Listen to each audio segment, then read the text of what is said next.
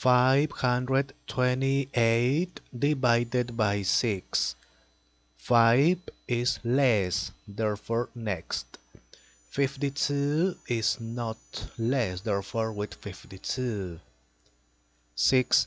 Multiply by which number is nearest to 52 but not greater 6 multiplied by 9 50-fold 50-fold is greater.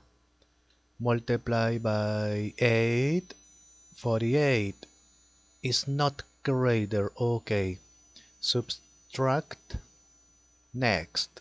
48 6 multiplied by 8 48 is not greater okay.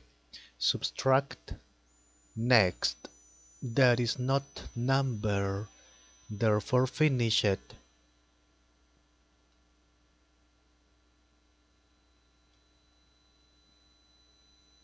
Okay. 528 divided by 6 is 88